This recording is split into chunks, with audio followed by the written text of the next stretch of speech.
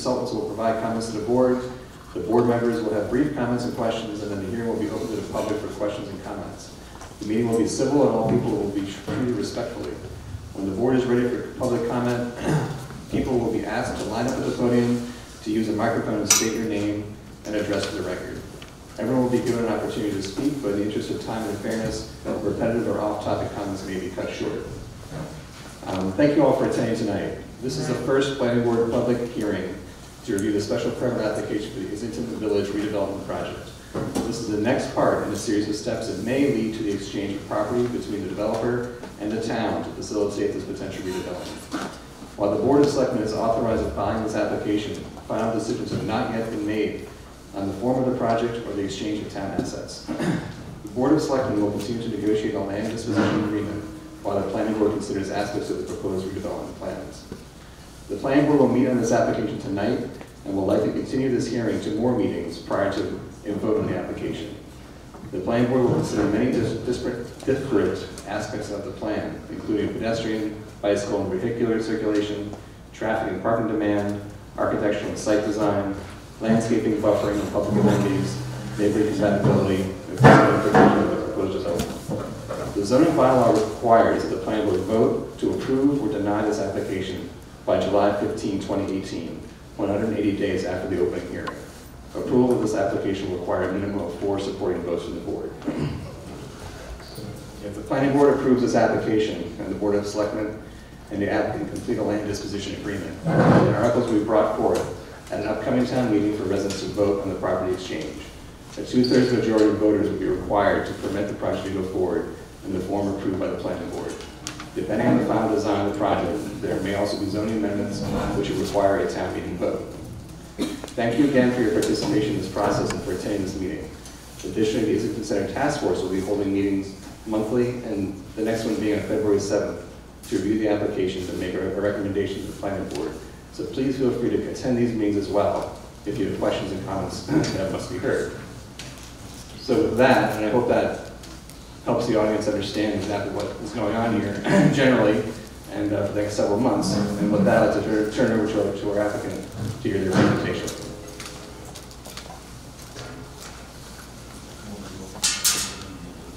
Sure, yes, we'll do that. Well, wait. Thank you, Peter. It's up now in front of me, but, all right. All right. So this, I'd like to formally open the, uh, the hearing. Now, this is the 266-278, 277A, 277-283, 288, 280, 291, 295 Washington Street, 9 School Street, 9 School Street, and East Street, Islington Village redevelopment public hearing for the FMUOD special permit. It's also an earth material movement, EIDR. This is a proposal for a new mixed-use building for a first-floor commercial with two floors of 18 condominium residences and underground parking at 288 Washington. Renovated building for retail and childcare uses at 266-278 Washington. Re- The relocation and renovation of Branch Library to 277-283 Washington. A new retail pharmacy, the CVS likely, building at 9 School Street. The renovation of Blue Hart Tavern for office and one residential unit. Parking, landscaping, and associated site improvements. And now, I will turn it over to the applicant.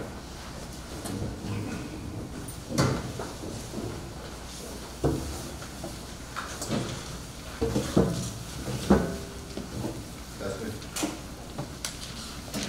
Hello, here we go, thank you. Good evening, for the record, my name is Peter Zahka, I'm an attorney with offices at 12 School Street in Dedham. I represent Petruzziello Properties LLC, the applicant before you. Uh, Also here tonight is Giorgio Petruzziello, uh, one of the members, managers uh, of the applicant. Uh, Next to him is uh, Mike McKay from McKay Architects, who's the project architect. We have Mike Carter and Sue Harrington from GCG Associates, who are the project engineers.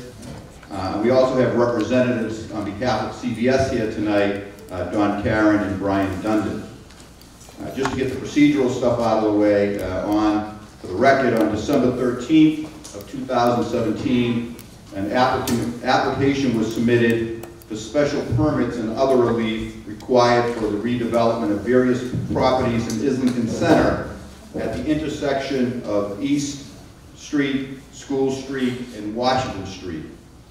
Uh, The project involves, on the East Street side, demolition of what I'll call the existing church, uh, relocating Wentworth Hall, construction of a new mixed-use building with approximately 13,000 square feet of commercial space on the first floor and 18 two-bedroom condominium units on the upper floors. Renovation of the existing 266 to 278 Washington Street, which currently houses CVS and the dry cleaners, including conversion of about 4,000 square feet of the basement space for relocation and use by the MMO daycare. On the School Street side, it's proposed to demolish the buildings at 291 Washington Street, that's the building with the coffee shop and the barber shop. Demolish 9 School Street, which is the building that was formerly used as the tailor shop. And to demolish 277A Washington Street, which is a adjacent residential building. In its place, it's proposed to construct a new CVS with approximately 13,000 square feet uh, and a 1,700 square foot mezzanine. Relocate the municipal parking lot with the same number of parking spaces as are currently located, located in the current municipal parking lot. Relocation of Wentworth Hall and renovation and relocation of the former Blue Hart Tavern. Again, for the record, the planning board did cause public notice of tonight's meeting to be advertised in the Westwood Press on December 29, 2017, and January 5th, 2018, and caused notice to be mailed to the statutory abutters. Application was forwarded to BETA Group and other town consultants for peer review and distributed to other town agencies, boards, departments, employees uh, for their review and comment. Tonight, we believe we have a great project to present, and we think we have a great story to tell.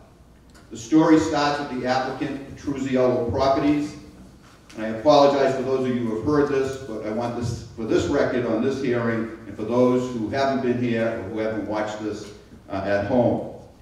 It's important to note that Petruzziello Properties is not a faceless, mega out-of-state developer. It's a family-owned entity and operated business. It's actually Antonio and Giorgio Petruzziello, father and son, local. They both currently live in Dedham. They've been in the development business for many years. They're experienced. They've built single-family homes, complete subdivisions, and numerous commercial and mixed-use buildings. The actual applicant tonight, Petruzziello Properties LLC, develops, owns, and manages property. To be clear, Petruzziello Property does not redevelop a property and flip it to some third party. Instead, they retain and manage the properties personally. Antonio and Giorgio are hands-on managers. As I stated, they're local. Therefore, you know who you're dealing with today, and you'll know who you're dealing with well into the future. As I said, they're experienced. They currently own, operate, and manage over 150,000 square feet of commercial space and over 175 apartments, many of which are located in mixed-use buildings. Most of the properties have been constructed or renovated by Supreme Development Inc., a construction company owned by Antonio and Giorgio Petruzziello. They have earned a very positive reputation in the communities where they own and manage property. First and foremost, they take great pride in the appearance of their buildings. They always maintain their buildings, and they're always looking for ways in which to improve them. They've also earned the reputation of being willing to work and cooperate with communities in producing what has been promised, We believe that was demonstrated with the recent project at 301, 323 Washington Street. We fully understand the town and the neighborhood have a vested interest in making this project the best possible. So does the applicant. He's a major stakeholder in the improvements to and vitality of Islington Center.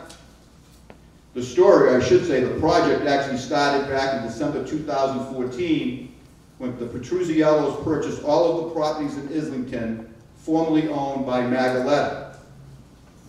Except for a few cans of yellow paint, these properties had been, had been neglected for years. And as best, they could be called unsightly, which probably had nothing positive to do with surrounding property values. As stated, the Petruzziellos take great pride in the appearance and condition of their properties. So there was never any doubt that they would undertake major improvements and updating of their Islington properties. But they did not move forward in a vacuum. Even before the actual purchase of the Magaletta properties, my client had many meetings with town officials and staff, as well as with a focus group, to get an understanding of the town's vision Islington Center. From these meetings, my client came away with an understanding that the town, through its comprehensive or master plan, identified building and site design improvements to Islington Center as a major goal, as were providing new and diversified housing options, more convenient shopping experiences, and of course, improved building appearances. This led to the project at 301 323 Washington Street. And yes, there were concerns and apprehensions during that permitting process, but I trust we can all agree that the results are extremely positive and as promised. And at the very least, there has been a major aesthetic improvement over the yellow painted buildings that used to be at that site. That mixed-use building contained 12 apartments. Some real concerns were expressed over the potential tenants. Today, nine out of the 12 apartments are leased, and six or seven of those tenants have Westwood connections. We have a town employee, we have several apartments rented to people who work at, at Xaverian, and to date, there are no school children.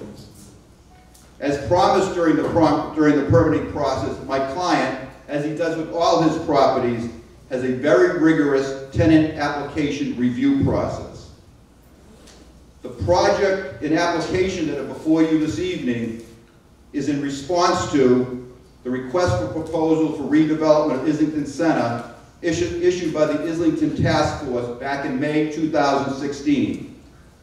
The RFP was designed to encourage redevelopment of the area, including certain town-owned parcels, in a manner which was consistent with the town's objectives and to maximize the town's benefit. However, the RFP offered a unique opportunity for both my client and the town. Instead of simply reacting to a proposal from my client, it provided the town with the developer's vision of what could be Islington. And it provided the developer with the town's vision of what could be Islington Center. Simply stated, it was a unique opportunity for both sides to work together to determine what should be and hopefully will be Islington Center. And it was not necessarily a very quick process. My client submitted the RFP in June 2000, response in 2016, in the year and a half since then, there have been countless meetings with the Islington Task Force. I believe it was 14 meetings, if I'll stand corrected on that, as well as other town boards and staff. And there have been countless revisions to the project that is now before you. The revisions we believe that have been responsive to the comments and others which were required to maintain the viability of the project. As stated, my client has earned the reputation for listening and being responsive to constructive comments. They have done so with the project before you. My client heard that many liked the look of the church, that it was Islington Center. So the mixed-use building has been designed to replicate the same. My client heard that many preferred condominiums to apartments. So the 28 apartments in the mixed-use building that were originally proposed have now been replaced with 18 condominium units. My client heard that the proposed CVS should be designed appropriately. So our architect worked with CVS, and the proposed new CVS is designed with the village concept in mind. And my client heard that the proposed CVS drive-through was not desired by the community. So again, working with CVS, the drive-through has been eliminated from the project. And there are additional changes that have been made since the submission in both response to staff comments as well as initial peer review comments, and the engineer and architect will review those. In the end, the project before you remains economically viable to my client while providing extensive benefits and we believe minimal negative impacts to the surrounding area and town. Some of those, bless you. Thank you. Some of those benefits include, we believe, satisfying the goal of the RFP and master plan in revitalization of Islington Center as a business and community center. Petruzziello Properties firmly believes that CVS is the cornerstone to the economic vitality of the area and a major convenience to the surrounding community. And while CVS has a lease at this, at their current location, the project assure- ensures that CVS will remain in Islington Center for many, many years in the future and in a building which is more efficient. The project continues and enhances the village look of Islington Center. As stated earlier, the church building is being replicated. The CVS has been specifically designed for this project, and other buildings are being appropriately modernized. In addition, there will be much improved landscaping and streetscapes. The area will be more pedestrian and senior friendly. We provided an additional buffer to, uh, to the back of School Street property with additional community space. The project does provide more housing opportunities and choices. In this case, condominiums and a town center. In addition, the project will increase the availability of affordable housing in the area. The project includes the historic preservation and restoration of the Blue Hart Tavern, a, a, project, a portion of the project that has come at considerable cost, estimated at approximately $800,000 from when the building was moved to when it will be completed, uh, at- as part of this project. The project provides an opportunity for the MMO daycare center to remain in Islington Center. The project will result in substantial increase in tax revenues to the town. Our fiscal consultant, Fougere Planning and Development, estimates that the project will result in a net positive fiscal benefit of over $500,000 annually to the town.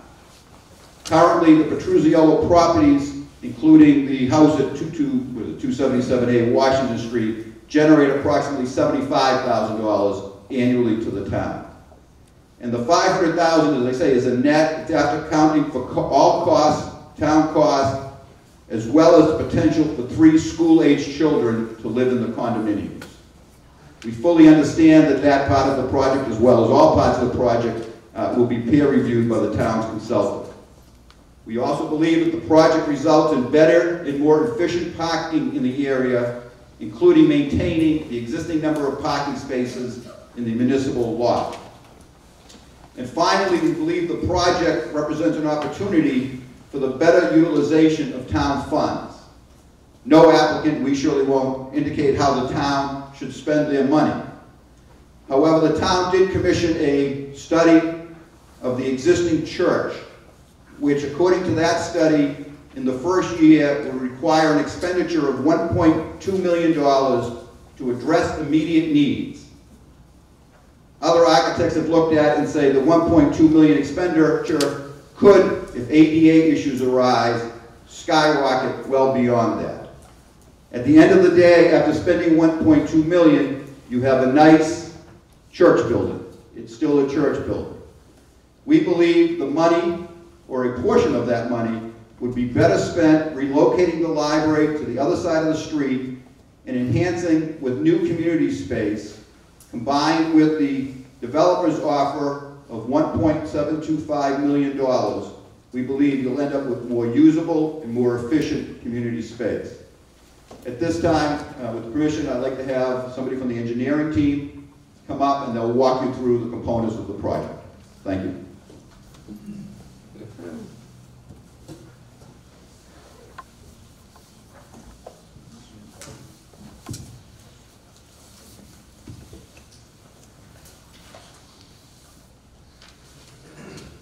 Good evening. My name is uh, Mike Carter from GCG Associates. What I'll do is I'll do a a broad overview um, of the project um, and some of the, some of the details, but I won't go into all the little details so everybody can get a general understanding. So up on the screen up here, what we have is um, basically Washington Street runs up and down, School Street's here, East Street's here. Um, There's eight parcels associated with this, as uh, indicated earlier. Roughly, the total area is three and a half acres, um, of which uh, four of those parcels are owned by the town. If you're looking at the screen, it's the brown parcels that are owned by the town. This right here is located where the uh, town parking lot is. Over here is the uh, community center, here is the library, and then the fourth parcel is a little rectangle right out here near East Street. Uh, The blue color is owned by the applicant or under agreement by the applicant. Uh, Basically, there's an existing house located back here. Um, This is um, the barber shop on the corner, this is the tavern right here, and this is the other building right adjacent to the tavern. Over here is the CVS. Um, So those are the, those are the, basically four parcels for the town, four for the um, applicant. Um, What we're proposing to do is, um, well, first before I go that route, what I'll do is I'll just kind of go over the existing site. Most of you probably are very familiar with it, but this is the um, School Street side, and I will reference School Street and East Street side, just to kind of help everybody orient it. School Street side, basically, we have three curb cuts on that. Two on Washington Street, one is for the town parking lot right here. The second curb cut is here for uh, this barber shop and this building on the corner. And then there's a wide curb cut, basically the entire length of School Street for the tavern and the existing building. Um, That's one of the features there. The, the other feature is that there is uh, 43 existing parking spots in this location when they're all combined, of which 30 of those parking spots are part of the town parking lot. Um, Some of those parking spots are spoken for other businesses of the town's 30 spots. Um, The next sheet is going to be the East Street side, which consists of obviously the CVS, which is located right here, Washington Street, East Street, the community building, the daycare, and then the town library is extinguished right in here, with the back parking lot in here, and these are the residents that live behind uh, this parcel. Um, That, that parcel has a total of 55 existing parking spots, has two entrances to the parking area, one being off of East Street right here, and the second one is down by the side of CVS. Um, And I bring this up because, when I go to the proposed plan, I think there's some improvements that we've done that would be very helpful to traffic flow and traffic patterns in this project. Proceeding forward, so as indicated earlier, basically the only building on this side that is going to remain, the structure itself, physical will remain, the facade and the interior will be redone.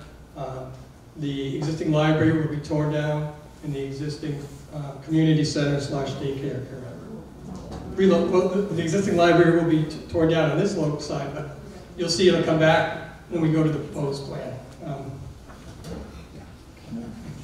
okay.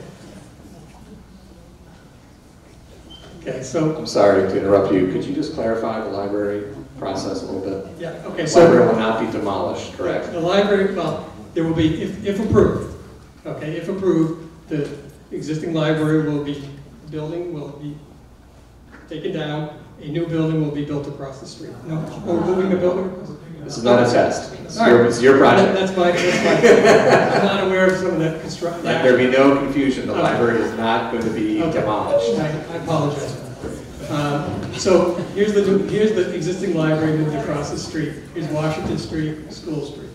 The CVS building is located here, and um, what we will have is we will have one entrance off of Washington Street. If I indicated earlier, right now, there's two curb cuts, and one of the curb cuts is, if you're fam- you're all familiar with it, is very close to School Street and that whole intersection. Not easy to come out and do a left or right.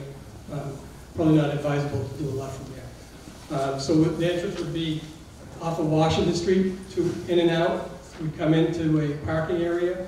Um, Part of it would be assigned for the school, for the uh, town parking lot. There would be 30 spaces in there for the town, reserved for the town. And the balance of the spaces would be for the development and the tavern. Um, And basically, under the proposed condition, there would be 86 spaces um, increased, and 30 of those would remain with the, the library or the town parking lot. Also of note is that if you look on Washington Street, we are adding seven, seven spaces for parallel parking. Um, The town clock, that's the right terminology, will be moved. Uh, Basically, it's, it's approximately right here, it would be moved down to here in front of the library. Um, There would be, as indicated, no drive-through for CVS. Um, This would be a one-way, exit only, out on the school street, um, which would um, improve traffic pattern. Basically, you would come in here and you could either exit off Washington Street or this street. Uh, Included in all this, there's, there's lighting plan, there's lighting on the site, there's landscaping, there's stormwater. I won't go into all the particular things about that, but in general, the stormwater, the net, there will be no net increase leaving the site when everything is done and built, because there is an increase in pervious area on this site. Um, Of to note, when we're done, basically the town would own the, the library, and the final layout of the parking lot, that included the 30 spaces, would be deeded back to the town. The second piece of interest on this is there's a, a small resource area back, wetlands resource area back here, intermittent stream. Um, This parcel back here, as I'm outlining, would be deeded to the town as open space, would remain green, is green today. Um, The tavern would be located under our current design back in this location. One of the comments from our original plan was that um, I believe the library was, had one of the provisions for a 2,000 square foot addition. Um, That is located, if you see this second rectangle in the back of the building, um, that would be the potential for a future addition. Uh, That's something that, a comment that came back um, since we submitted, and we wanted to make, the- make you aware of that. That's the overview for this. Um, With respect to fire trucks, turning lanes and access, um, we've provided a plan that shows that a fire truck or a, um, a a delivery truck, a tractor trailer truck can go in there and enter and access. The other side of the street, um, Washington Street being on the top of this, top up here, East Street here, um, we would use the existing entrances that are there today. Basically, CVS is, right now is located here. This is the existing driveway that would remain, It would be a 24-foot wide entrance. And then the existing entrance off of um, East Street would remain. That would be how you would access the back of the site.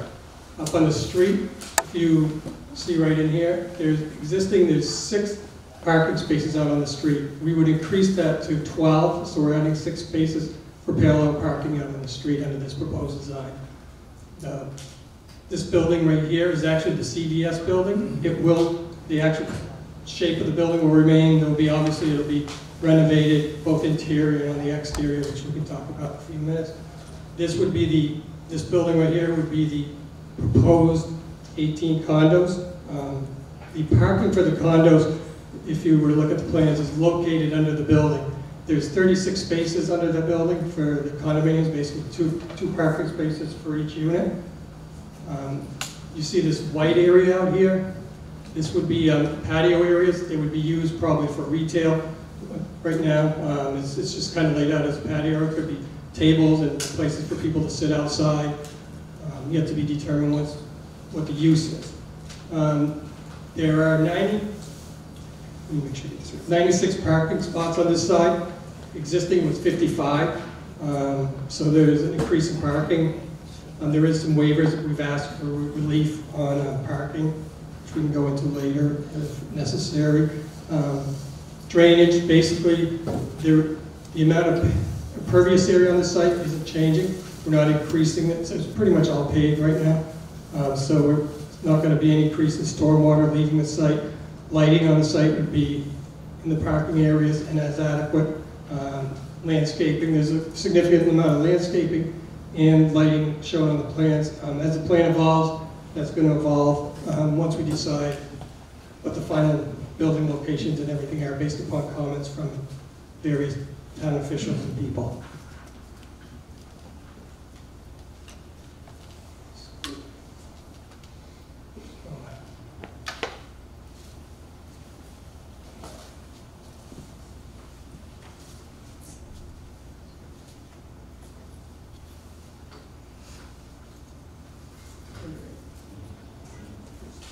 Sorry about that. I'm left-handed.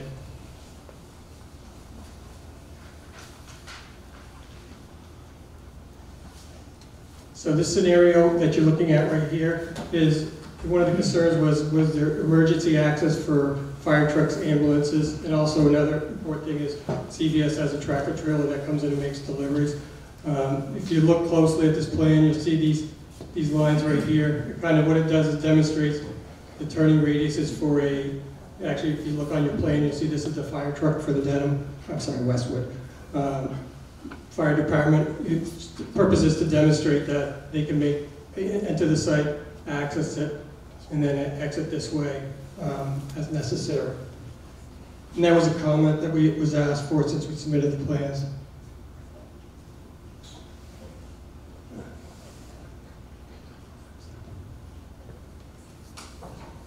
landscaping plan, um, if you, just real briefly, there's, uh, as you can see, there's plantings, and if you looked at all the green space on the original plans, that was um, the area where all this landscaping will be done. With the intent here is to match the lands, the street view that was on the other side done by the applicant, you know, with the same kind of sidewalks, curbing, trees, lighting, so it all looks very similar.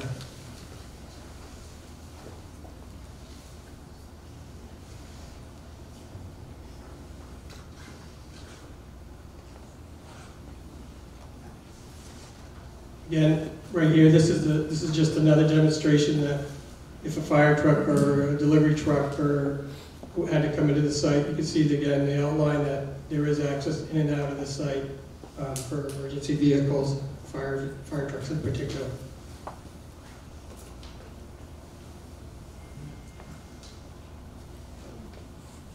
Um, In general, that's, that's the overall picture of the site. There's some other things that we've looked at, but what I'll do is I'll turn it over to the architect to discuss the uh, building structure.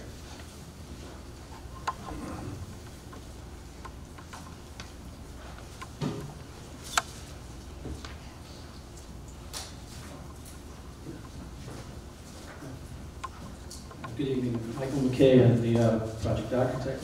Um, Nice to see everybody again. Um, We've, um, as with the site, we've uh, received some comments from uh, both peer review and staff, and we've tried to respond to some of them. And one of the things we've done is organized the, um, the different buildings into building A, B, and C, just to simplify things. Um, So we're starting with the CVS, which would be at the, uh, um, the School Street side. Um, So this is a rendering which we've, uh, we've uh, seen before, and uh, as- as mentioned, CVS has allowed us to design this to, um, to uh, fit in with uh, the village feel that we've, um, that we've tried to replicate on, or trying to replicate as we did on the, uh, the previous project. Um, So these are the four elevations of, uh, these are new drawings, so these are, uh, we had not presented in the um, submission. Uh, So these are four- four elevations. Uh, The top one is the Washington Street elevation, uh, quite a bit of glazing with uh, entrances on both corners. On the School Street side, the, um, the left side would be, um, that's actually false windows, that, those would be spandrel glass, but we're trying to um, simulate the, the glazing on the, uh, uh, the true glazing. We're replicating planters on both sides of the elevation. The scale of the building is 29 foot 6 on the Washington Street side, and School Street goes down to 24 foot 6. So the, the elevation here is 24 6.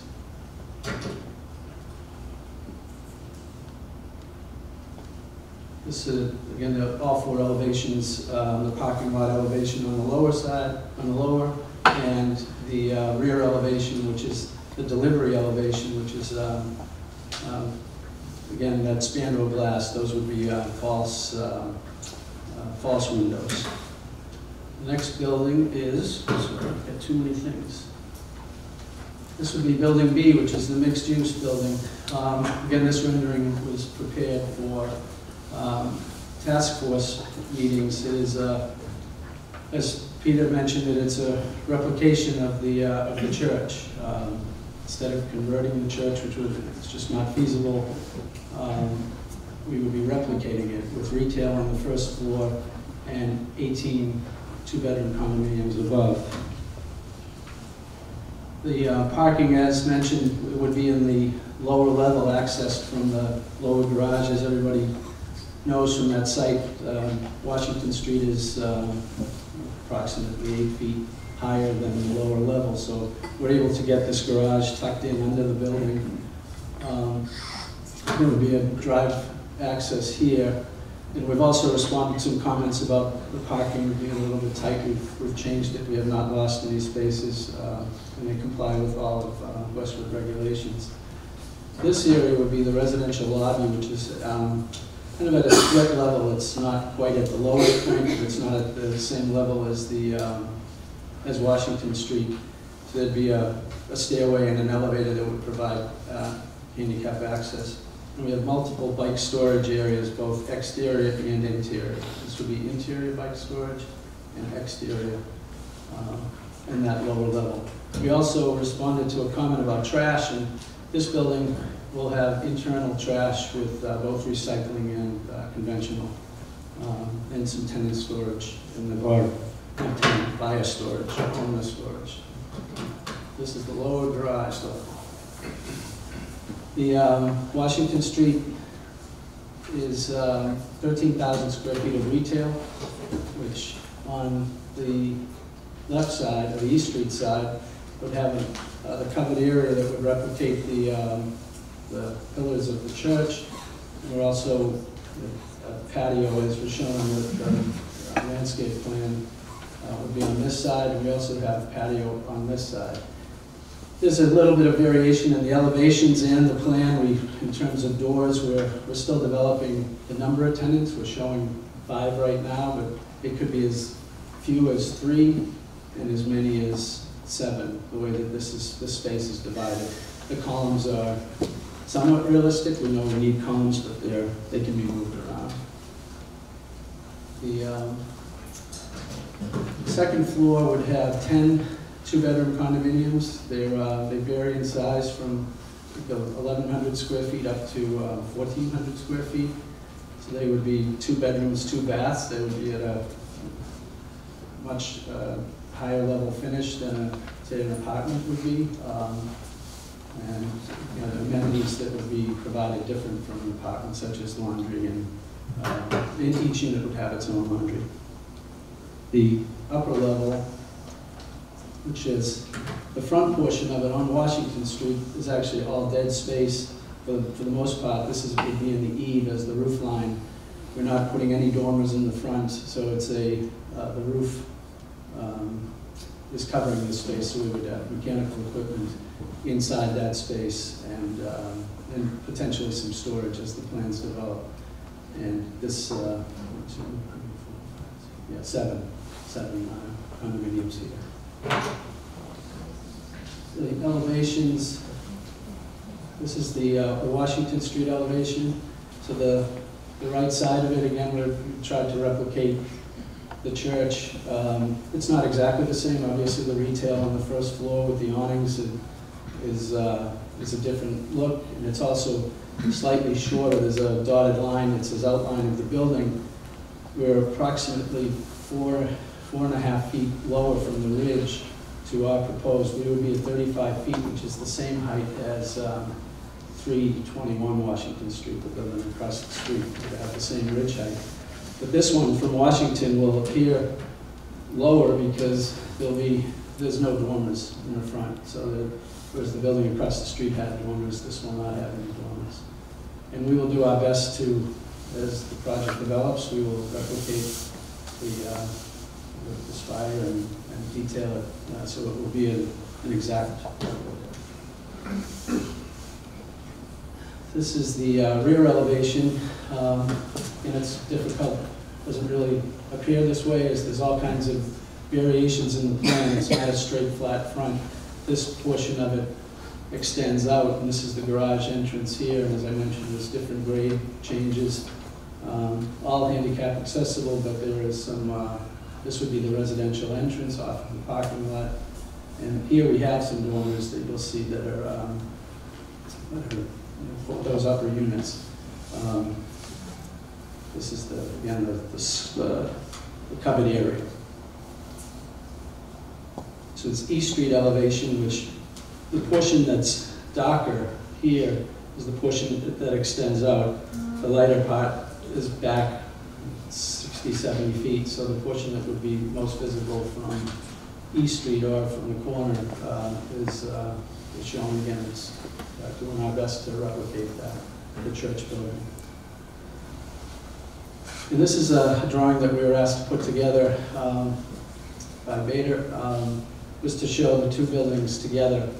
Um, We'll get into the MMO uh, retail building next, but taking the, the new mixed-use building and the renovated um, CVS building, and this is a direct scale um, view of that, an exact scale of that. Building C is the renovation, and this is something, again, we presented at the uh, task force meeting, it hasn't changed. Um, We would be uh, renovating uh, both interior and exterior, it's a pretty much a gut renovation.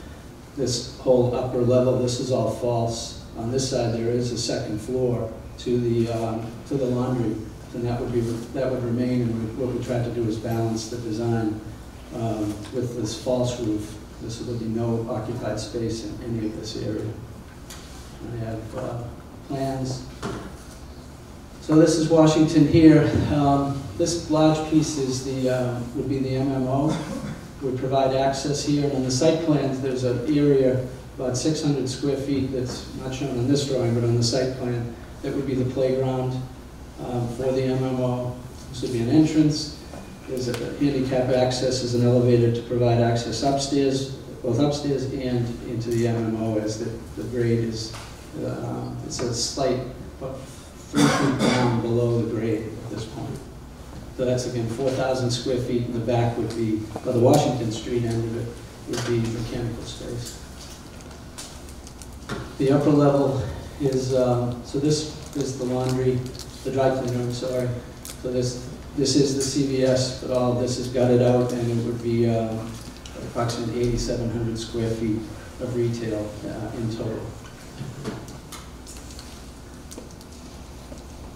The um, elevation rendering shows it, but this calls out material types. This back, or this false gable actually is at 34 feet.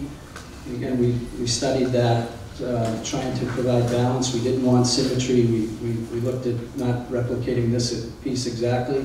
We had this, uh, this as kind of the anchor or the entrance. Um, So it's more of a design decision on our part, but um, again, these are all false dormers here. The um, side elevation and the, um, both the right and the, the left side elevations. This is the driveway uh, going up that currently exists, so it would be um, you know, providing windows, and this would be a brick base, a brick foundation to the uh, entire building. This has a mixture of materials, as all three do, of shingles and um, clapboard siding.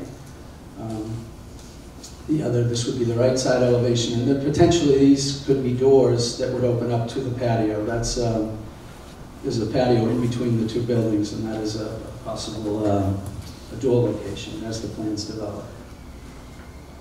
And this is the rear from the parking lot. So again, where the basement is here, it's about three feet or two and a half feet below the actual entrance elevation.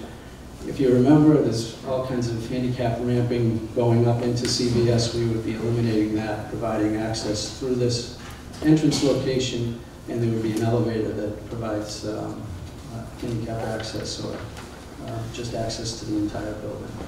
So the back elevation is uh, similar to the front, but we we have windows for the MMO space, so these transom windows, and then retail windows. Some of them may be transom glass, but um, uh, the hope is that most of them will be um, see-through windows. That's it. Um, I just wanted to go back to the site plan for a second.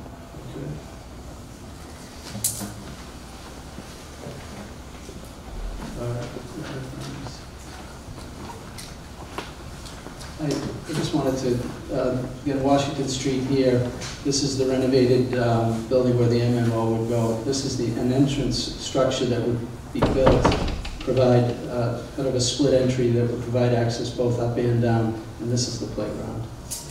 Um, And it's approximately the same size as the playground that exists, and both patios were here and here. Um, I think that's a quick overview. Um, Thank you. Yeah, I just want to clarify uh, two points. Uh, One is, yes, and again, we'll reemphasize the uh, assumption is that the library is being picked up as is, moved over uh, across the street. Uh, One of the concerns that was raised during a lot of the uh, prior uh, discussion of this project is that, um, the word concern, yeah, is that the town and the developer not get into a condominium situation. So I want to emphasize, anything that is ultimately owned by the town and as designed, uh, the library uh, on the School Street side uh, with a uh, room in the back for a 4,000 square foot addition. I believe it has a 2,000 square foot basement, is the basement 2,000 square foot? So at the end of the day, uh, the town would fully own, not condominiumize, they'd own outright uh, that building, uh, the space for the addition, and the 30 parking spaces uh, which are outlined uh, for the uh, replication of the municipal parking lot. And just one other point about CVS, we've been not shy in saying that CVS is very important, if not integral, if not primary, uh, um, economics uh, part of the project uh, from my client's perspective. Uh, And uh, CVS, currently in its location, no surprise to probably anybody here, does a pretty good business. Uh, So to encourage them to uh, participate in this project and move across the street, uh, the incentive is a a new building uh, that works better for them uh, operationally. Um, Over the years, uh, CVS has changed in terms of of their operations. This new building is designed to meet those, those operational needs for the project. And again, I want to indicate that, I've been surprised a lot. I was surprised initially when they let Mike, our architect, uh, work with them in terms of the design. I was pleasantly surprised uh, when uh, they agreed later in the project uh, to the elimination of the uh, drive-through, uh, as well as the, um, I use the word entrance on School Street uh, being an exit only. Uh, So CVS has been uh, very cooperative uh, in the project in terms of responding. Uh, They've looked at everything that has been asked of them to look at. Uh, Some things they clearly have uh, rejected because they just didn't work for them operationally or otherwise. Uh, Having said that, that's our presentation uh, for this evening. Thank you, thank you guys very much. Um, I'd like to uh, hear um, from our consult group, um, the town consultant group with some commentary. Uh, We're making a play to have this open to public comment by eight o'clock. Um, So if you can keep that in mind as you speak, because we also want to hear briefly from the board. It's it's seven, it's like seven twenty-seven or so right now. So if you could take two minutes, if you could take,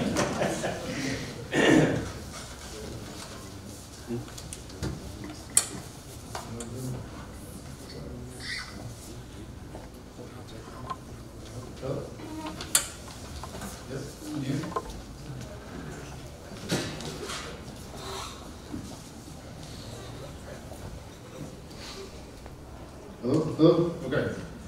Um, My name is Phil Paradis. Uh, I'm with Beta Group. I'm a professional engineer. I'm a LEED accredited professional and a uh, uh, certified uh, professional in stormwater quality.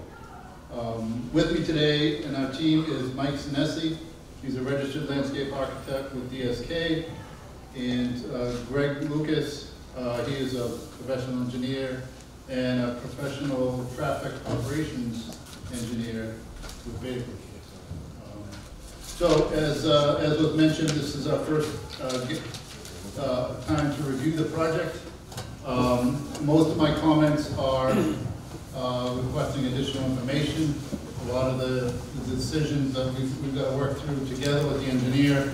Um, And so uh, I'll keep my, my points brief. There's a number of issues, uh, there's a number of technical things that we, we don't necessarily have to go through at this point. Um, So the project uh, assumes uh, a couple of things, that uh, two of the lots, uh, 9 School Street and uh, 277A Washington Street will become part of the uh, flexible multiple use overlay FMUOD. Um, And also that the retail space um, proposed by CVS will be allowed. Um, Having said that, the, uh, there's a, a- there's several, you know, this is the first chance to comment. Uh, There's there's several um, additional items that need to be addressed. So the, we would expect uh, a grading plan be provided, erosion control plan, uh, a stormwater pollution prevention plan uh, as part of uh, the urban area movements and also a stormwater management uh, review. The project meets the minimum requirements for, for most of the, uh, for the uh, area and lot, project area and lot area. Um, The building height was mentioned, uh, although being reduced, still exceeds the uh, allowed uh, height in that, in that district. And therefore will require the right waiver. Um, The number of parking also does not uh, as a mixed use, uh, will need to be evaluated whether uh, the the number of spaces, if they're adequate for uh, the proposed uses. Uh, As a multiple use facility, you know, there's times when uh, some uses are are hot, some, some are not, uh, and, and so we'll have to evaluate that more closely. Uh, One of the issues with the parking is gonna be, um, how do we make sure that the the, the, the use, the parking lot can, parking can be shared. For instance, is the desi, is the underground parking gonna be designated for uh, residents only, or also to used for the, um, uh, you know, retail space? The, um, so, um, so the project also includes uh, re- reconstruction of the municipal lot. Municipal lot has um, uh, restrictions or, or, I want to say, credit for other lots. Uh, Parking spaces reserved for other, for other lots, uh, primarily uh, the Wild Blossom uh, on 301 Washington Street and the Birdie's Creative Creamery. Uh, So we would make sure that, that those are, are are preserved uh, through this process. Um, One of the the issues we would like to see is, is a possible relocation of the proposed dumpster. Oh, it has, it's already been moved. So we, we haven't been privy to the, to the revised set of plans, but there was a dumpster right here. Um, So I guess this can be parking spaces. Um, uh, the- Also, the idea of adding more bike racks. I know there was a bike rack for CVS. Uh, No. There were bike racks proposed, uh, interior of the plan, but we would add, add more bike racks for the retail use and the CVS. Um, there is a limited uh, buffer zone along this edge and along uh, the back edge of the uh, uh, Blue Hill Tavern that uh, we would expect to have a more robust kind of screening, um, evergreen and or fence combination. uh, we, we requested auto turns, but I just saw it on the screen, it looks like we'll have to review that, uh, for emergency truck access. Um, There was no signage plan provided, uh, we'll have to review that when it comes in. Um, and then the, so then there's three particular waivers that the, the, uh, the project requires. Um, one is the building height, as was been, has been discussed. Uh, and then a determination whether the parking, uh, is sufficient to meet the, the development needs. And then the, the- buffer zone, uh, there's, in the, the zoning requirements, there's a twenty-foot buffer between, uh, and residential, uh, develop, uh, districts. So that will also have to be discussed. Um, as well as, uh, the, the proponent is, is requesting that uh, they provide one affordable unit, affordable unit when three are proposed or required. Uh, and I think that's gotta be worked through, uh, see what alternatives there are for that. Um, As part of the stormwater, um, the project, uh, as, as was discussed, the project areas are primarily, particularly on the East Street side, almost all impervious. Um, It is, it is likely that the stormwater runoff from, from these lots exceed uh, the capacity of the street system. Uh, It's been operating that for years, but there's, there's been a systematic uh, approach to upgrading uh, sites when we can to meet both the uh, water quality issues and capacity issues. So we will be looking at uh, providing additional um, ways to, to meet that, uh, primarily through infiltration if possible. Um, And if, if the 301 building is any indication, uh, that the area around here is pretty sandy, so that might be uh, pretty easy.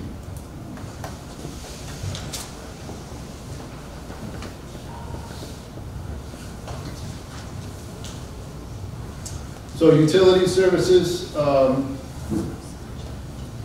we would expect that uh, the the- the revised plans provide all the new new utility services, including size and all the information required for that.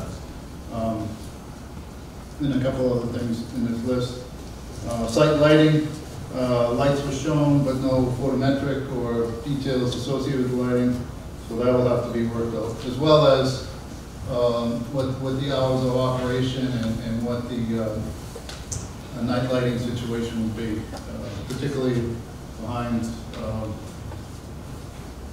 in, in the, you know, adjacent to the residential area.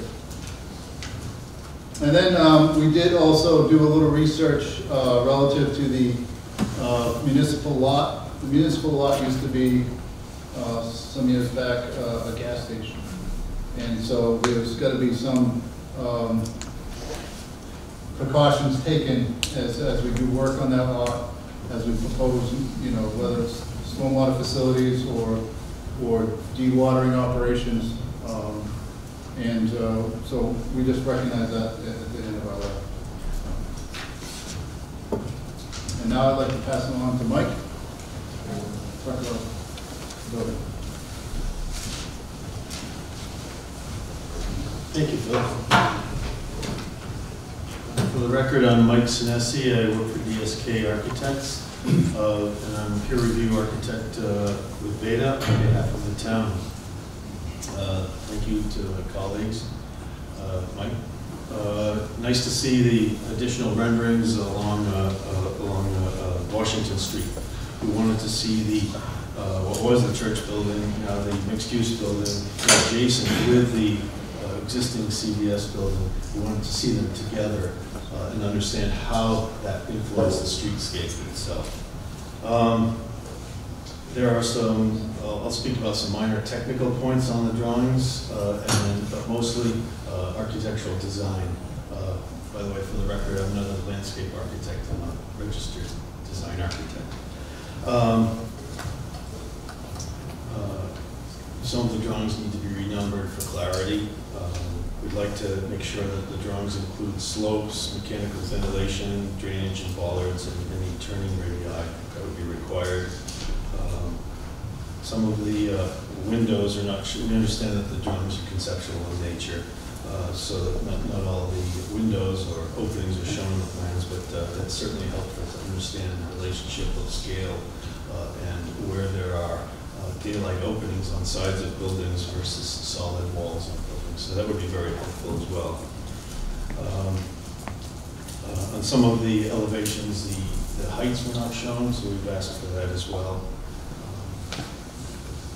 Um, The most significant uh, uh, architectural element that we're looking for uh, on the, on the building design is, uh, well, uh, while we're at uh, here, um, the, I'm not sure if the entrance here, we're not sure about how the relationship of this rendered building relates to the, uh, to the- plan as shown on the, uh, on the site plan. I'm sorry if I'm going in the wrong direction. Um, If we take a look at this, uh, this elevation here, there's no clear understanding necessarily, I I suspect that the entrance to this building is, is right underneath this porte cochere entry here. Not necessarily clear to us. Okay, Mike, I, I think, I, I think we can all accept that there's some deviation between the current drawings and the renderings that were prepared probably six or eight months ago, so maybe we won't worry too much about that tonight. Well, cut to the chase here. Um, The most significant element that we'd like to see perhaps some, some redesign on or so some look at is on the rear of the, uh, what is the existing CVS building. Uh, uh, This, this piece right here, which is shown as a large wide gable uh, on the elevations, I won't go to that, but uh, it, uh, it, uh, it isn't like a pediment, an architectural pediment. Uh, It doesn't know whether it's wall or pediment, so we'd ask the uh, applicant to look at that. We'll also get some comments here from on landscaping to speak to. Um, They're mostly technical comments about uh, spacing for like, for trees and, uh, uh, and perhaps considering other alternative uh, plant types uh, that might be uh, more hardy and uh, prone to, uh, to better life, livelihood. I won't get into all these technical details though. It's all listed out here.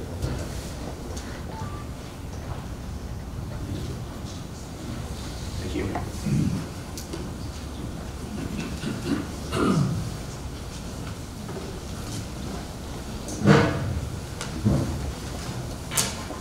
Thank you, Mike. Uh, For the record, my name is Greg Lucas. I'm with, excuse me, um, with BETA Group and led the uh, traffic review uh, for the, for the project. The, there was a traffic memorandum issued with the application that we had a chance to review and provide some comments on, and, and the majority of those are asking for more detail and um, how the traffic data was generated and how the specific uses relate to um, traffic increases and specifically at the, the changes in use in the driveways and how those will, uh, how those will operate. Um, Just to briefly go through some of those issues. uh, Existing traffic counts for the study were taken in 2015. We'd like to see newer data collected, which would, um, part of that is to capture the redevelopment of 301, 323 Washington Street, uh, to capture what changes have happened there and get current data for the intersection um, that's at the heart of Islington. In addition to that, we'd want to see existing driveway counts. They've estimated some of what kind of traffic is generated by the uses there today. Existing counts would help um, clarify that. And along that same, along that same line, when determining what kind of traffic will be generated by these uses, what kind of traffic changes will exist, how that breaks down for the particular site driveways, and in turn, how those um, site driveway intersections with Washington Street, East Street, and School Street um, will operate. In addition to that, we'd expect to see some uh, sight distance evaluation of those driveways to make sure that there's safe um, visibility entering and exiting, uh, specifically where changes in uh, changes in driveway locations, like on the uh, School Street side, changes in driveway locations, uh, buildings close to the driveways, how those impact uh, sight distance. And so that's just a very brief overview of the traffic comments. Uh, We'll turn it back to the board. All right, thank you very much, everyone. Um, Yes, uh-huh. Um, I'd like to now just open up to the board for uh, um, some brief comments and and questions. We won't dive too deep into the weeds on any one thing. I'll Allow this next to be more about hearing from the larger people we've assembled. So, do I have a volunteer? You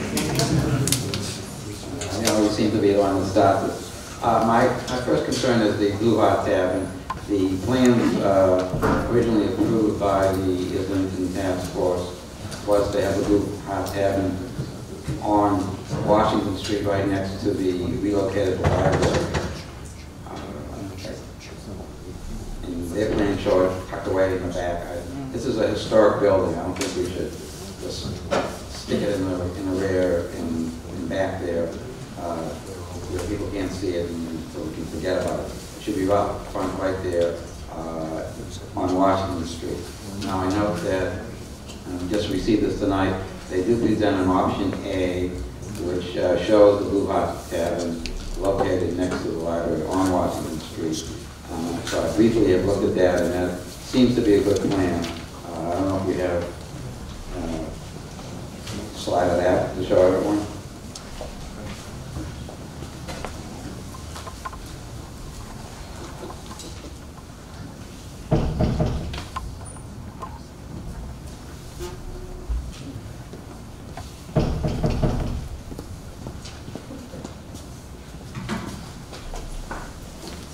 So this is, uh, obviously, this was what in response to earlier comments we, we gave to the uh, uh, applicant, shows the Blue Hart Tavern right there.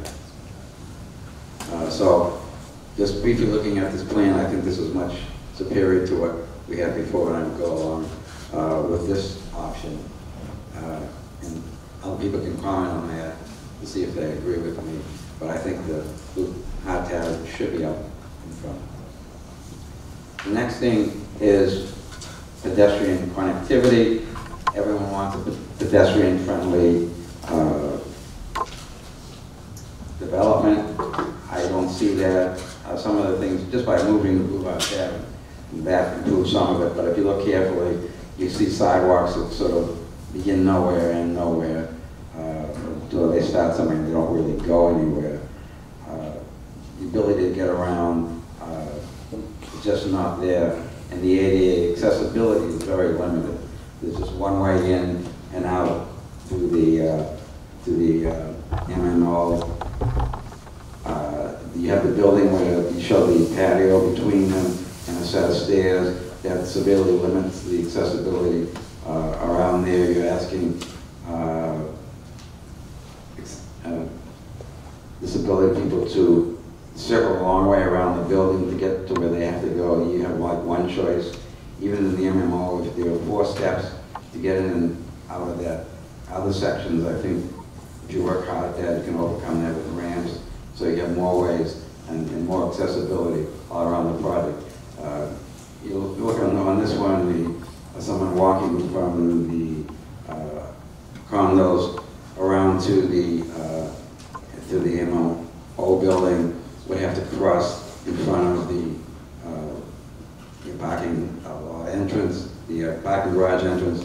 There was no crosswalk, there's no real sidewalk provided. There's just too many places where people are just walking in the middle of a parking lot instead of having a continuous sidewalk to get them to where they want to go. Uh, Next thing is traffic improvements. Everyone's talked about, here's the opportunity to get that left turn lane in on Washington Street. Uh, That hasn't been shown. Uh, we'll See some real traffic improvements that we've been looking for on, on Washington Street and at the intersection. Uh, The uh, dumpster problem seems to have been fixed, but we replaced it with two parking spaces. I don't know if that's that much better for the people that live there, have two parking spaces in front of their, their house. Uh, It seems to be limiting the right-of-way to half its width, uh, so I think that needs to be worked out, how that's going to happen. I'm also concerned with the affordability with only one uh, unit. Uh, It's very easy to develop and say, okay, we'll just give you some money and find an affordable unit somewhere else. Uh, If they're going, the town has a requirement for affordable units. Uh, so they, it's best to always provide them here, so you know they're going to happen, and they're not going to be, so, okay, you know, find it somewhere else if you can, and that's always the problem. Who's next? Thank you, Steve. Uh, I concur with Steve on the uh, traffic issue and the left turn lane, we'd like to get in there, uh, Washington Street, turning onto East Street. I also have a comment about the, the exit coming out from behind CVS onto School Street, which I think might be a little trouble with School Street backing up at the light. Uh, I think we really need to study that traffic-wise see if that's feasible. Uh, Last thing I'd like to add is the, it's always bothered me, the orientation of the church on the lot, the way it faces the fire station. I think if we could reorientate, if we're gonna tear the building down and rebuild, if we could just reorientate that to face the village itself, as opposed to cockeyed across the street towards the fire station. Just been a pet peeve of mine for a lot of years. Thank you. Um, I just have a couple additional comments on top of Steve's. um, uh, I have a long list of things here. Um, Just a a couple things, I- I'd like to just make sure you think about um, providing adequate infrastructure for the future electric vehicles that are probably coming into our lives. I know that that causes issues outside of your site in terms of power capacity, but to at least make sure we're sort of addressing that. Um, Another hot item that's been coming up a lot of projects is internal storage in these buildings for deliveries. I do see some tenant storage in the basement, so maybe that's something you've already been thinking about. Um, Steve mentioned the intersection adjustment, which is something we've been, we've been talking about for quite a while. So some backup as to why that hasn't been dealt with. Um, I would say also, there's also a bus stop, I think, on the School Street side, or the CVS side, I guess, and I guess I'm curious to know if that is still there and how that's being managed with the, uh, the T. Um, And I would encourage the board to support me in not granting a waiver of the architectural model. I think that's something that I know is being architected as a drag at times to put together, but I think in terms of buy-in and public understanding of the project, um, given how monumental this is, it'd be something that would help the process along quite a bit. And we're going to discuss that the tonight in terms of when that might appear. But uh, I think that would help um, us all understand the master plan a lot better. And should help a lot of members of the public understand it as well.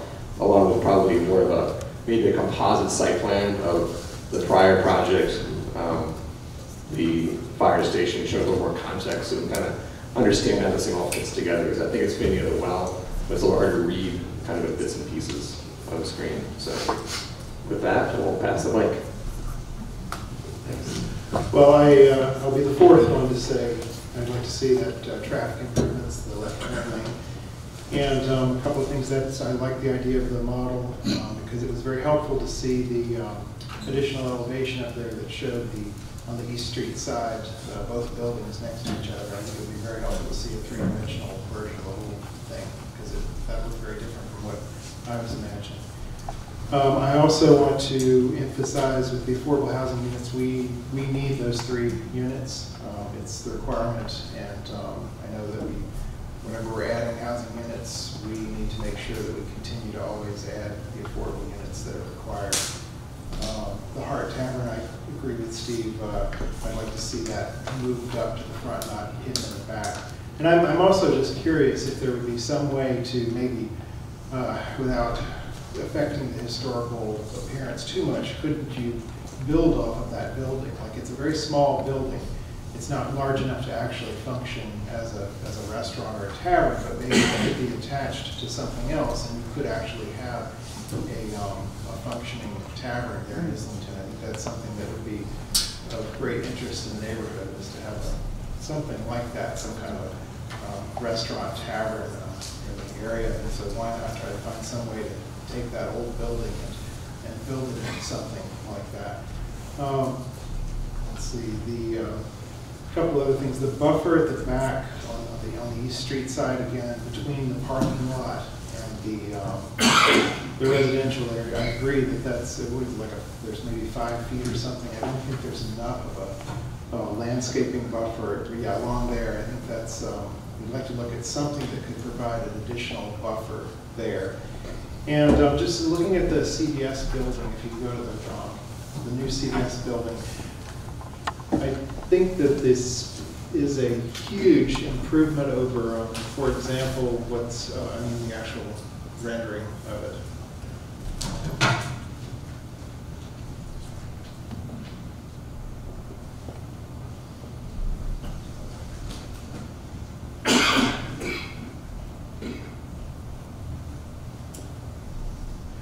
So I, I think that this is a huge improvement over, um, over a standard kind of CVS building. Uh, but I am a little overwhelmed by these, the large triangles in the design of things. Like, so here we have, uh, on the left part of that building is kind of what I think of as the village. And then we have, it may just be that it's, you know, closer perspective and all, but I think it's across the street as well. There are these really large triangles, uh, which are sort of non-functional space behind them. And I just, uh, I, I don't, I just find that to be a little um, big, and it kind of, it doesn't, get overwhelms uh, me visually, as well as the large uh, entranceway there. It kind of, it just is a little bigger than I would like to see. Uh, So that's, that's all my comments, so I'll pass it to Brian. Uh, Thank you for the presentations tonight. Um, I just have a few questions to, to add from, uh, from the board. Uh, One is when I, when I look at the, the rendering with the, the steeple and the, essentially the church on the corner, um, it seems like a very long, dense building. So for me, the, the look and feel of a New England uh, New England steeple and church in the, in the center of town sort of falls away. I was driving through Medfield today, even looking at Islington Center uh, today. It seems a very, pretty long and tall, so I don't know if anything can be done to the designs to, uh, to break it at different spacings to, to add to those elements. Again, the, uh, the buffering, I'd be interested to see what improvements in those buffers from the neighbors so that they don't feel a negative impact of this project. Um, Also with the, the parking is less than I would expect to see in order to have successful businesses. I think everybody in the town would like to see successful businesses so we don't see a, uh, a churn or, uh, or businesses struggling with that. And uh, to add to point, come the exit on, from CVS onto School Street, uh, to take a left at that point where you're crossing traffic um, and trying to queue into um, probably already a line of cars at the light, I think is going to be a bit of a challenge. So when that traffic report is updated, I'd really like to see some, uh, some details about that, just to make sure that uh, we have success there. Uh, And then the, the other item is with the MMO, so it, it, it will be in the current existing CVS, so in relationship to the, is the dry cleaner in that same building? And so I'd just like to know a little bit more details about where is that gonna be set um, from where uh, the kids are gonna be um, in there.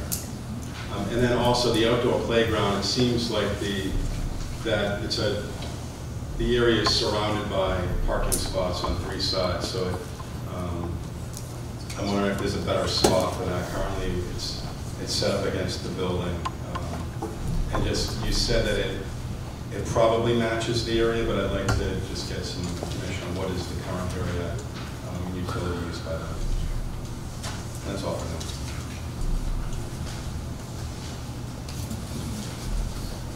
now. I just want to have, I just have a couple quick final comments. Um, And actually Brian brought something to mind about the MMO. And I guess I- I'll ask you guys, actually, just answer just quickly. How how much square footage is dedicated to the MMO? Is it four? Four thousand? Okay.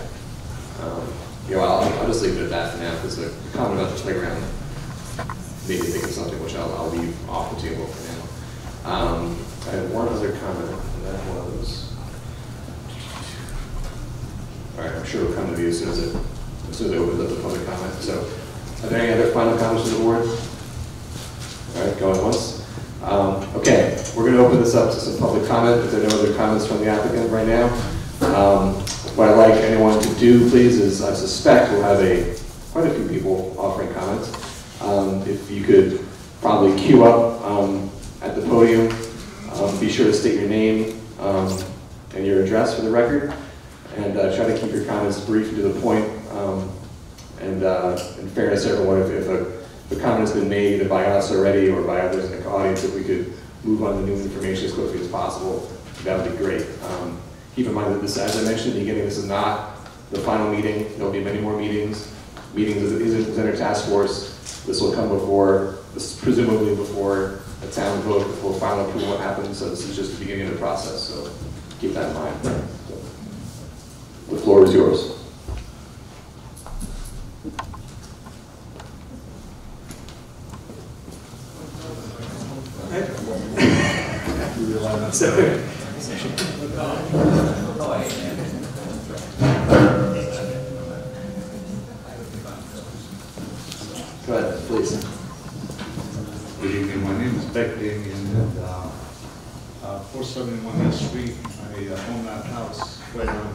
Go see the way of how cars go in and out, and how is my house is gonna be affected. I see a lot there, but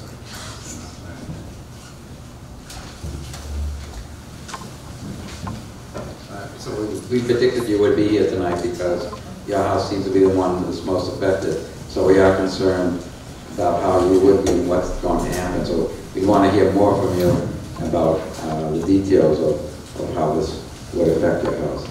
But so we can do that later. Hello, my name is Joe Layton, I live on 136 School Street. I have a lot of uh, small things, and I think they'll probably be fleshed out in future meetings. Now, one of them would be uh, the the incremental cost benefit analysis, so it's uh, presented. Uh, And uh, I hope that the peer reviewers will take a look at uh, applying full cost to the project, because I think that's a real world that we all live in, and uh, I don't think it comes up with an accurate figure. In addition to that, they skipped uh, a few things in that analysis. One is that we're already collecting uh, taxes on um, existing properties that will obviously disappear. Um, uh, We lose a rental on for MMO. Uh, We're going to suffer the cost of relocating the uh, library, uh, the it falls on us. Uh, We could leave the library building where it was. It's being moved for the uh, developer, and I think we should pay for the cost of that. Uh, Also, in the uh, original uh, RFP, there was preservation of community uh, services space, which was very significant, and that's disappeared entirely. And that's going to have to be replaced, or uh, the community is going to suffer the loss of it. The RFP specifically uh, said that the developer would provide that space. Uh, There's no provision for anybody. Uh, Really, I got a few other points, but uh, one other point is that um, the market value that the town had on their properties uh, exceeds the amount of money that we're going to receive uh, by about $413,000, $463,000. So it's the town's own figures of the market value of their properties, and I've adjusted it for the fact that uh, we're preserving part of the, uh, the um, parking lot. Uh, And uh, we don't even get the market value that the town was carrying. That's the other things I'd like to Uh, Do you, Giorgio or or Peter, would you have to, do you give a response for any of those comments at this point in time, or? Probably make sense to, maybe not tonight, but just want everything. Okay, that's fair.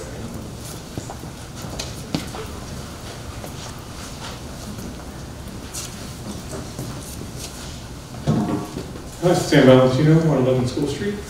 I want to, just in terms of the tavern, respectfully disagree. I actually just wanted to put in a, to say I like it tucked back like that. I, I feel that that were it all in, in front like that is kind of what Mr. Gorman said about how the building is so long.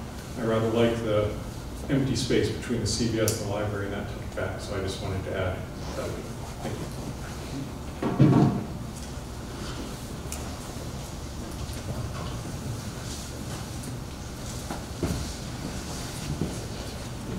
Um, Marty Lynch, 56 Parker Street.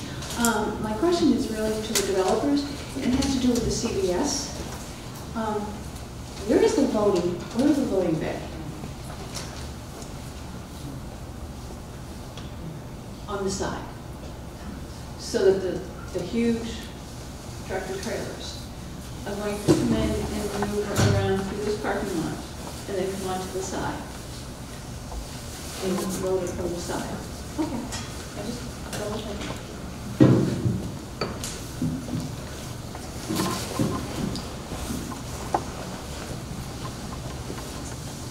Misha Jackman. I live at 263 Washington Street, so I'm like right behind the Northeast Security System. And now you're talking about putting a community center, so my house is like tucked right back there. And then with the Blue Tavern, you're talking about putting back there.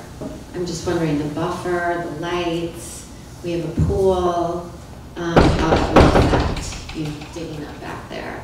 In addition to the house that's right across, it was bought it was Sam Cohen was the original owner. It's like turned into a dumping ground. There's like big black bags that men are dumping, so I get to wake up every day and look at that. So I just wanted to see what you're gonna do about that.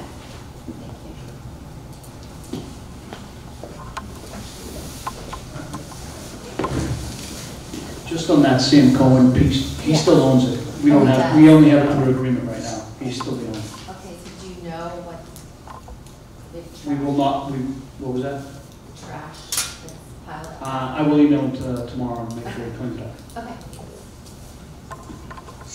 Yeah, I think on, on these comments, I'm sure there'll be more about the, about the buffer zones and how this impacted their properties. Again, that kind of composite site plan with some color, just so we can kind of read more legibly, like what's going on in the big picture would probably go a long way. So, Go ahead. Hi, my name is Fran Fusco, and I live at 20 Pine Lane.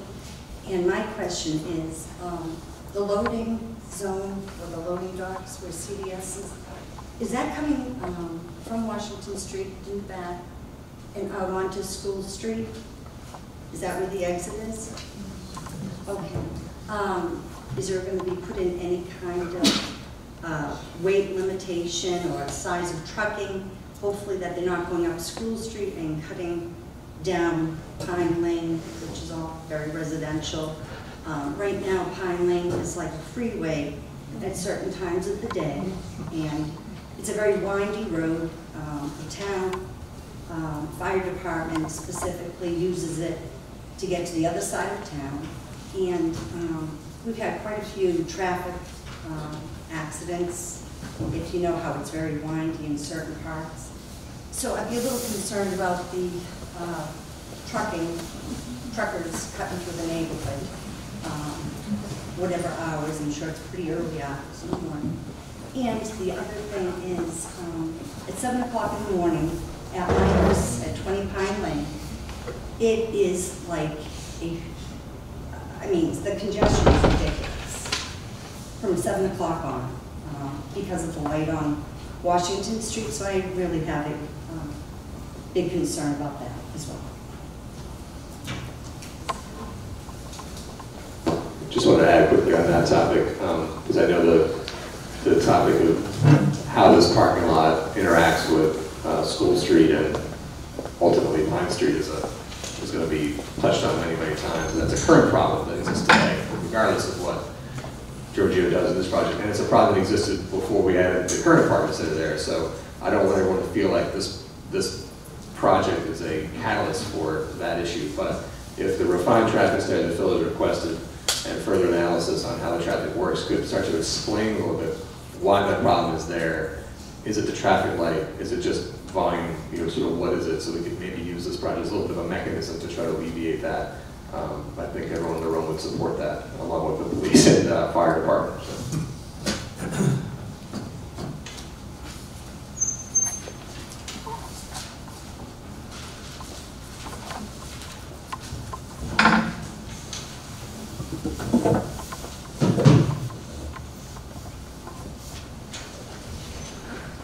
Good evening, Nanda Beach Fabrizio, 32 Webster Street.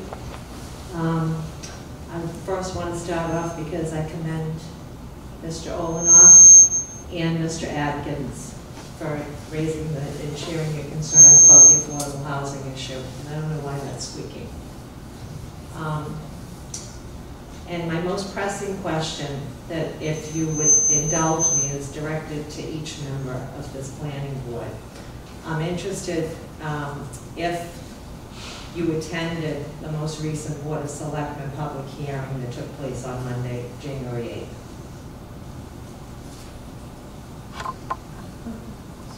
If you would indulge me. I, I watched it on TV. I didn't attend it, but I did watch the, uh, with regards to affordable housing, Yes. yeah. No comment? No. No comment? I'm aware of the discussion. I'm sorry? I'm aware of this the discussion. Mr. McCosker? I am aware of the discussion. Okay. Um, The reason that I bring this up is because although University Station and the subject of tonight's meeting, the Islington redevelopment project, are two totally separate projects, they're undeniably intertwined. And as much as both of these proposed projects have a common denominator of commercial development and multi-use development, but more critically, because of the encompassing issue of affordable housing, that those discussions on Monday night at the Board of Selectmen meeting raised. Um, I was particularly disturbed by the dialogue um, between our elected Board of Selectmen, our town administrator, town employees, and of course, our special town counsel. Um, But it, the discussion, I was disturbed because it was in connection to and related to the topic of affordable housing, and that's why I'm standing before you now. Specifically, I was referring to the assortment of troubling back and forth comments at the Board of Selectmen meeting concerning Westwood stock of affordable housing as defined by MGL Chapter 40B. Um, I applaud Mr. Bailey, our special town counsel, um, who, who strove to elaborate on the concerns that were raised during those discussions. And, but, and I also appreciate, he made a declaration, and he said it's a complicated issue.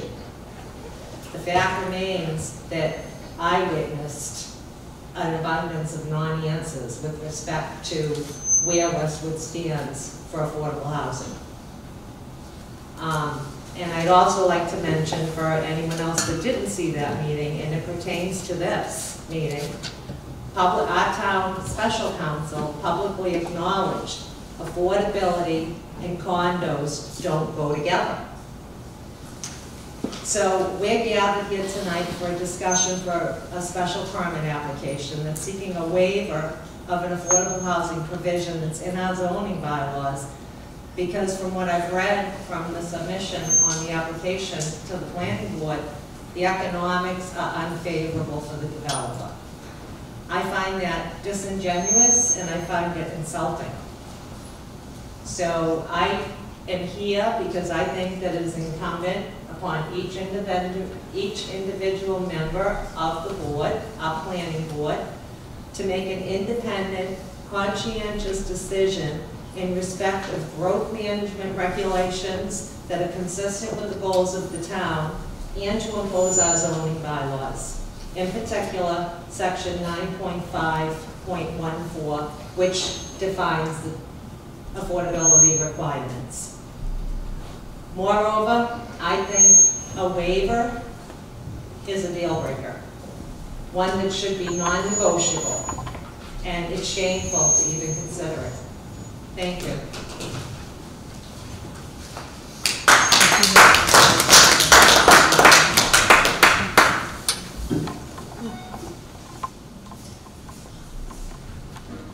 Do we have another uh, question or comment?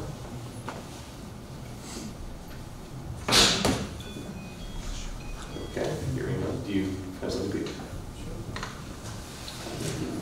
I just want to quickly address the affordability component. We put together an application.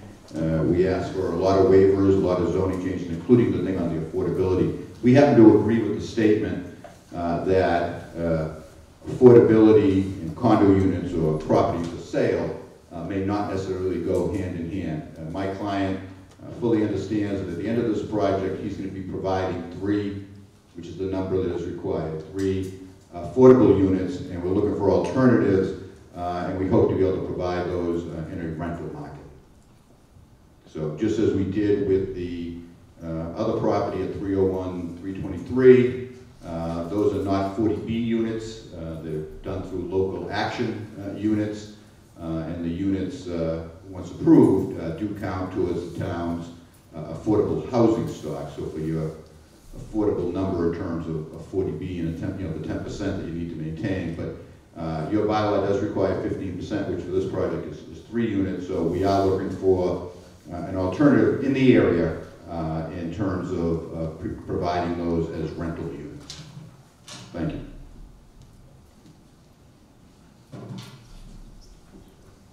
So to clarify that, because maybe I was a little confused, you will be providing those units uh, for the town.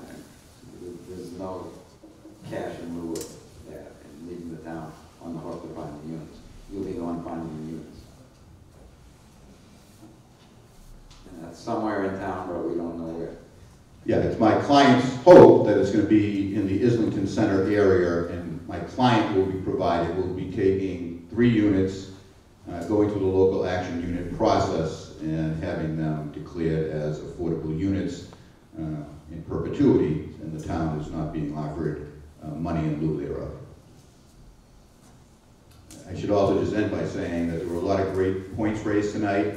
Uh, We understand we have a lot of work. Uh, Instead of answering half the questions tonight, our preference is at the next meeting, uh, which, by which time we've actually been probably getting deeper into the uh, peer review process, uh, updating plans, uh, and then being able to present responses to hopefully all the questions and concerns that were raised this evening. Go ahead, feel free.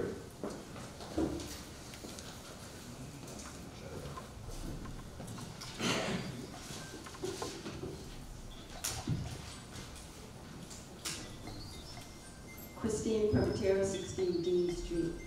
I had not planned to uh, speak, but relative to affordable condos, I just want people to know that there was a 40B development in the Hamlin School, and houses were required to be affordable. And this is not a 40B, but it is still a special um, kind of housing situation. So I don't buy the argument that we cannot have an affordable condo. Thank you.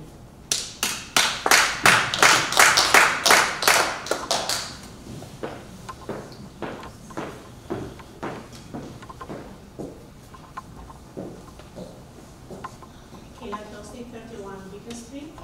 Um, I'm also a member of the task force, but I'm speaking on behalf of just myself as a resident and also. um, Kayla, turn the mic on. I think you might be off, yeah.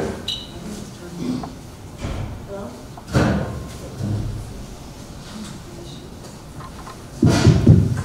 Okay. Thank you. Kayla Closey, 31 Beacon Street. I'm a member of the task force, but I'm speaking in behalf of myself. I just would like to see the B 2.2 drawing, if I can.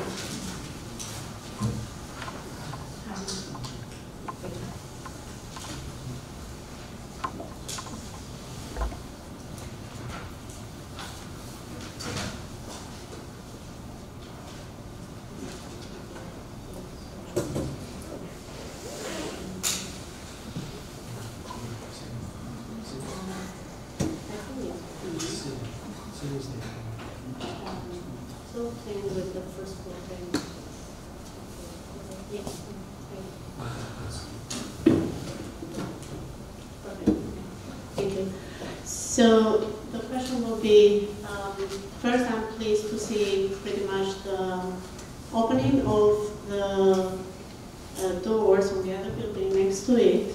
Pretty much this um, building, the ICC with the mixed use shows before the, the double doors for uh, possible tenants. But primary concern for me is the MMO So is the MMO just the L shape inside?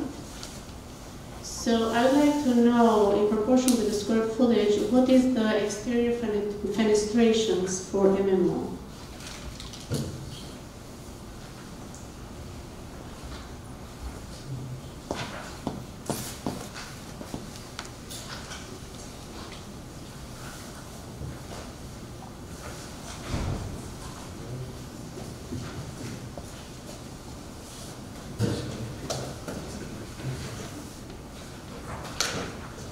This portion here is 55 feet. That's the, the window section. And actually, just looking at this now, you may be able to incorporate the windows here also. So it would be an additional 25 to 30 feet. So I think we can incorporate that into it.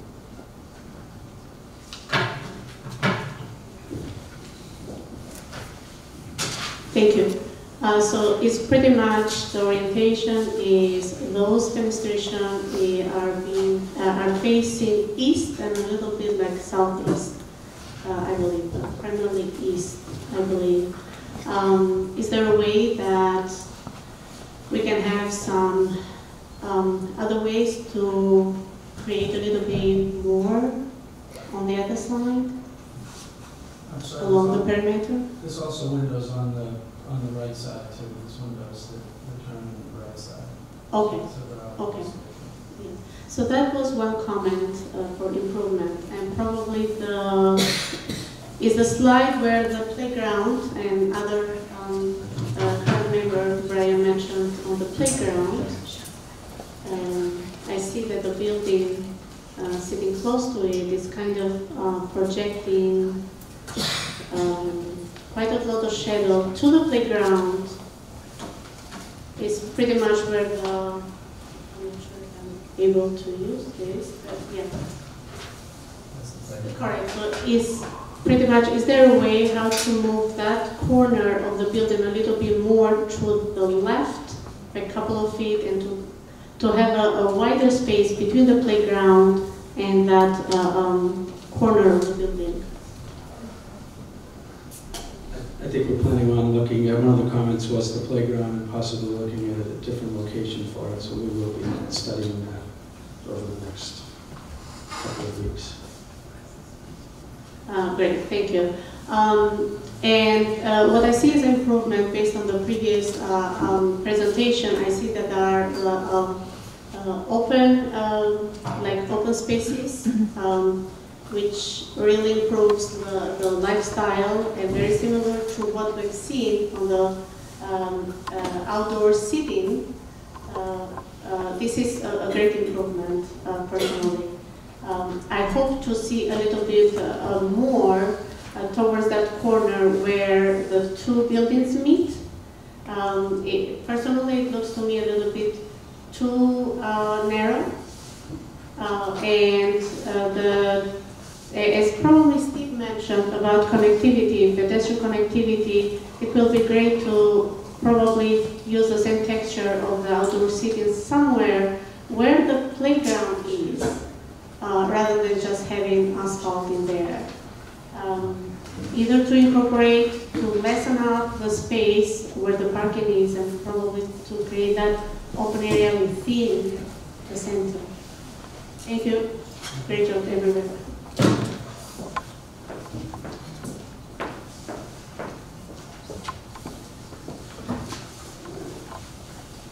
right, I'm going to make a last call for public comments tonight.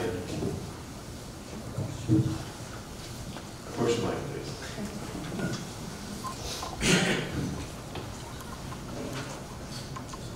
Uh, Joe, Joe Privateer, 16 Dean Street. Maybe I missed something. Is the ICC under agreement? Is it still under the care, custody, and control of the town of Westwood? Currently or at the end of the, at the- at the end of? Right now. Right now. Right now, it's still our, it's still a Westwood property, correct? Okay. Just wanted to make sure. Thank you. All right, one more final call on public commentary. All right, given that we're actually a little earlier than we dreamed, um, I'll, I'll ask the board if we have any further questions to be applicant tonight that we could, you know, fit in with only if, if any of the public is teased out any more thoughts. One of the residents did ask, and and I would like uh, to know, well, where is all the space that the town has now in, in the uh, community center there? Where, where is that now going to be replaced, in addition to the MMO?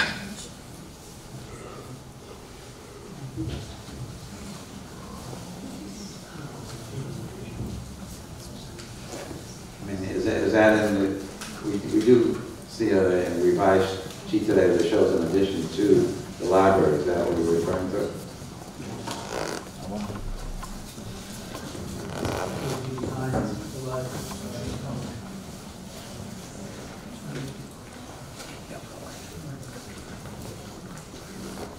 This uh, additional 4,000 square feet behind the library. And that was added uh, since we submitted. All right, so obviously, we haven't seen any renderings of that. We, concern would be, how compatible is that with uh, the current library that's, again, a historic building we're trying to preserve, so if you're putting an addition onto it, we need to see how that will uh, be compatible with the existing building.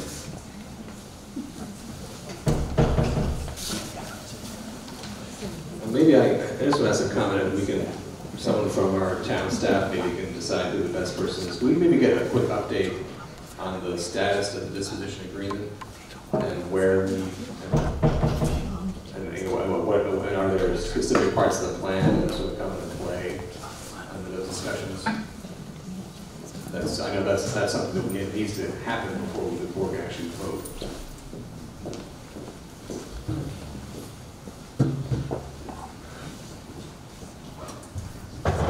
Nora Loughnane, I'm the Director of Community and Economic Development. The Board of Selectmen and the applicant signed a memorandum of understanding over the summer, which set forth several conditions under which the applicant could apply to this board for a special permit. It also stated that they would continue to discuss and negotiate a disposition agreement. They are in the process of doing that now. Part of the um, negotiation of the disposition agreement requires a settlement of where buildings go, what land remains in town ownership, what land goes to the private developer. So the process has to go hand in hand. The selectmen will continue to negotiate as the planning board defines the process better. So they're both ongoing. Um, The land disposition agreement would be signed and put in the planning board's hands before the planning board would be asked to vote. Um, If there is no land disposition agreement, then the planning board would not complete the special permit or would deny the special permit. The land disposition agreement is a necessity before a proposal could be taken to town meeting. So both processes are going on at the same time. Thanks, Nora. So I, I- this is, um, part of this, that my memory is foggy from the, uh, from the process we went through with the task force. But is the concept now that the MMO would be, uh, uh, would be leasing space from, would be leasing space from you effectively for their operation there, and the town would be leasing space, or would be owning, would would be owning space within the addition to the library to house the services, town services, et cetera. That's correct. The MMO will become a tenant uh, of Petruzziello Properties and no longer have a relationship uh, with the town. Uh, My client has met with with the MMO. Uh, My understanding is that, uh, unlike every other tenant, the MMO, as they have been doing uh, with the town, is willing to commit to one year. So we're building out a, a property for, is that correct, one year? For, for one year. Uh, My understanding is that's how they've been historically doing it uh, with the town. Uh, Just so we're clear, uh, across the street, the original proposals uh, was that my client was giving zero dollars to the town and was going to relocate uh, the library and do the build-out. Uh, Due to the fact that um, for a number, for a number of reasons, in terms of the economics of the project, including uh, that our initial understanding was that my client, because he was doing so much work uh, on the School Street side of the property, uh, would be able to undertake the project without triggering uh, prevailing wage. Uh, We have now been told by special town counsel uh, that that's not the case. Well, my client, even the parking lot, which my client is replicating for the town, it's our understanding that that work uh, will be done uh, by my client, but at prevailing wage. So in lieu of that, uh, in the package that's before you, uh, the uh, relocation and the build-out of that space, we provided the area for the space, but in lieu of that, my client is offering the, the town dollars. The actual disposition, as, as the buildings move, the lot lines will move, uh, and that will, therefore, we don't know where the exact lot, we have shown lot lines on all the plans. Um, The plans in front that we submitted with the application uh, showed the location of the Wentworth Hall slash library, which would have a new, anticipated to have a new basement area of about 2,000 square feet. Subsequently, uh, we were requested to redesign that, which is what you're seeing tonight probably for the first time, uh, for the potential for a, that the land area for a potential 4,000 square foot, um, if you will, addition to that. Uh, That would be replacing the community space uh, that the town um, is giving up out of the, out of the ICC. Uh, And as I had indicated, we believe between the uh, 1.75 uh, dollars uh, that the applicant has proposed, plus the additional revenues that would be generated, plus the savings that the town will have uh, in not having to spend the 1.2 million plus trying to bring the current ICC uh, up to at least code, but still ending up with a church space as opposed to usable space, uh, that the project makes economic sense uh, from the town perspective as well. So the addition to the west of the library, as shown in this plan, would not be a day one build up or fit up, or would not be built as day one. That, that's a future addition to be built by the town, is that what I understand? Yeah, the town will make the decision when, they- when they want to build that up. Got it, okay. I just want to make sure, I get it, I just want to make sure everyone in the room sort of gets that, so we need to specify that. Anyone else? So what does that mean as far as community space? Is that, has a decision been made that the town will build that community space? I think, I think it would be unfortunate to lose uh, that, that community space. Even, so is it, so who's going to make that decision that that building will be built and who's going to pay for it?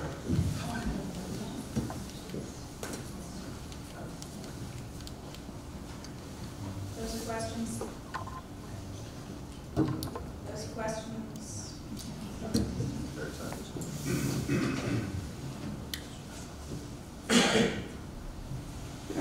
Those are questions that will be answered as we negotiate the land disposition agreement. The intention is for the community space to be replicated as called out in the RFP. The Board of Selectmen are the ones who have to decide if there's sufficient parking to replace the municipal parking that they have now, and if there's sufficient community space to replace the community space they have now.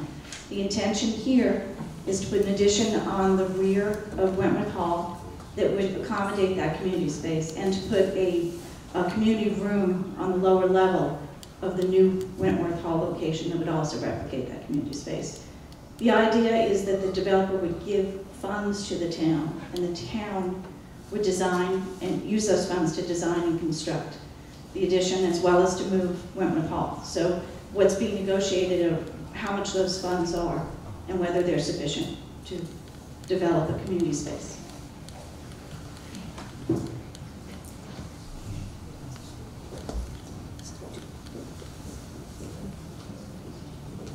Any further comments tonight? I just have, a, uh, with regards to the, the wetland, have you, have you approached the, uh, the Conservation Commission as far as getting, uh, it looks like you're approaching the, uh, the impermeable surface on that exit onto School Street. So I'm just wondering where, at what point will you discuss that with the Conservation Commission so that we know if it's a go, no-go there? Mike Carter again. Um, We have filed a we have filed a notice of intent with the Conservation Commission. It is Um, My understanding is it's at bay right now, we need to have the town. As an applicant, it would be both the town and the the developer. Um, So there's a doc, a letter we need from the town, it's not to proceed for, but we have filed the document. And it's not advertised yet because we need to get that one document signed, it's. Thank you. Um, Brian, sorry, if I just add on that, we recommended that the application move further along in the planning board process before filing the complete application and scheduling the hearing hearing with the conservation commission so that um, you can weigh in on the building locations, but when it comes to the conservation commission, it's uh, more defined. And then just my last question has to do with the, I didn't see a school impact study, so um, did I miss it or is there intent to do that? There was a um, fiscal impact report that was submitted Okay, um, with your application. Um, You have also hired your own um, fiscal um, consultant, RKG. Craig Seymour is here this evening hearing the presentation, and then he will report back to you. Um, So you will be reviewing that at your upcoming meetings more. And That is important to help you determine the number of residential units. Right. And then just one more thing is just to to reiterate the, to see updates to the, um, to the rendering so that we can see that, um, that they match the, the architectural plans. I think that will help me when I review the plans. Thank you. I just uh, thought of another question. So what right now is planned for the Blue Hart Tavern, is that to be um, like an off- office space, let's say apartment or something? And would that be owned by the town or by you? It'll be all night,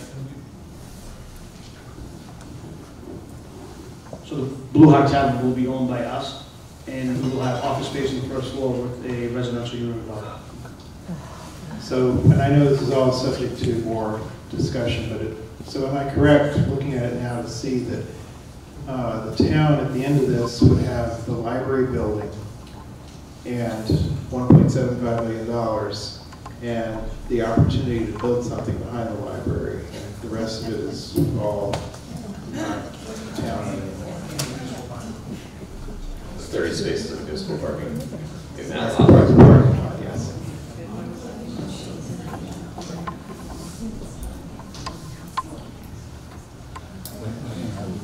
Any uh, other board comments or questions for tonight?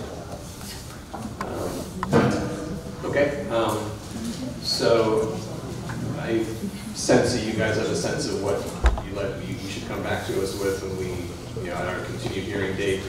Um, Just to maybe reiterate a couple things around my mind is maybe part of that agenda should be maybe a, just a more focused discussion on, on- on the waivers and what they are and why.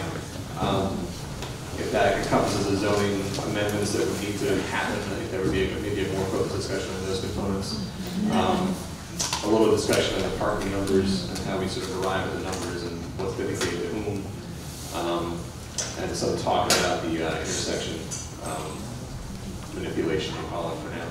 Is there something else to? Right, I just want to add um, about the model, the presentation model. A couple of you, I think two of you said you were interested in the drawing the model. Do you all agree so that we can give um, direction to the applicants? Looks like they're, I'm thinking of physical model, like, yeah. Want to use a computer to make it, sure.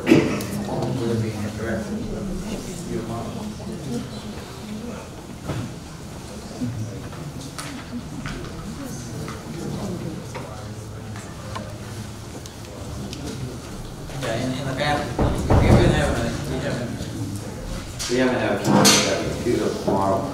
We haven't had a model, a real model in a long time. And I know that was the days before we had computer models. So people was to walk around the model and, and they would stoop down and look and try to sight things from like where their house is and where their neighborhood is and, and doing it better. That, that was a nice thing to have. Uh, if you, if you can do that with a computer model, uh, as interactive enough so people could really get the view that they wanted, uh, then maybe that's a possibility. I have to disagree. I think you're gonna get, we're gonna get ourselves in trouble if we offer a 3D interactive computer model that anyone in the room is gonna wanna move around in, in within. Um, I would still prefer to see a physical model that can be at a relatively, you know, conservative scale, and we can just, I, I don't remember if the bylaw states s- scale, size, materiality, et cetera. Um, but maybe we can discuss what that might be. I'm thinking also that a computer model would be less expensive and easier to create, I'm assuming. And it would also be easier to share with people because not everybody can come to the meeting and look at the model. If it turns out that model is in- inadequate, could we then go back to requesting something else it? Because I think there's kind of a trade-off, like there is, obviously, it'd be nice to physically see it in front of us and all, but if it's a computer model that can, people can look at it, for- assuming that it's, you know, it's usable, I mean, that's kind of the thing, assuming that it's, it's actually accessible and usable, more people would be able to view that from home at their leisure. and, Right, but I think we gotta make a decision on this tonight, so they can get set up and be ready. So I think we gotta come to a decision here, which do we want? Well, I'd, I'd be okay with a computer model. Should we just do a quick vote on how they want to five? Well, actually, well, Physical model? I haven't, uh, I haven't done a real model in twenty years.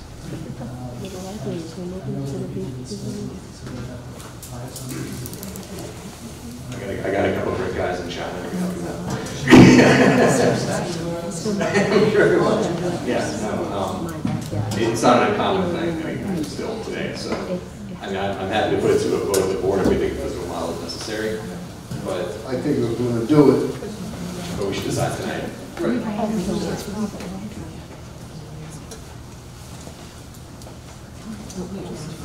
Brian, what's your opinion? Um, I I would just think that a physical model might be easier to see the scales across the screen and stuff versus looking at a two-dimensional screen and trying to to gauge, especially when you're, when you're looking at CVS compared to the, uh, the the condos where the, where they drop off. so.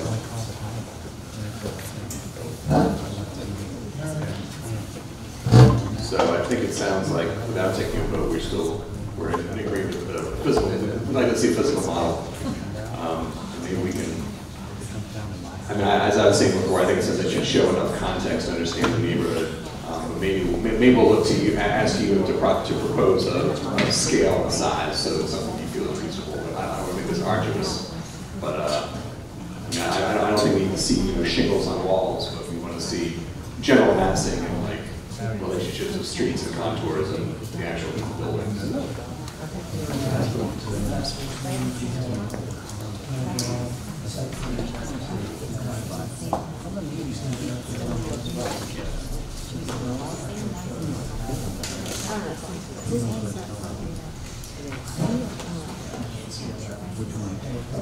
Yeah, yeah, maybe, actually, no, I mean, maybe if you want to plan maybe for next meeting, if it could be a print of the rented site plan, of the context we plan to do at the, at the same scale, we could say, yes, let's do this scale. That's it. Great. All right, if there are no other uh, board comments, um, I would like to hear a, a motion to continue this hearing to Tuesday, February 13th at 7 PM at the Sheehan School. Actually, sorry, seven thirty PM at Sheehan School. Um, They're not open for the meeting until seven thirty. All right, well, 7:30 PM at the Sheehan School. All right, I have a motion and a second. All those in favor? Aye. Aye. Thank you very much. So just, just to reiterate, this, uh, this public hearing has been continued to Tuesday, February 13th at 7:30 PM at the Sheehan School. Uh, Please keep an eye on the website for uh, further information.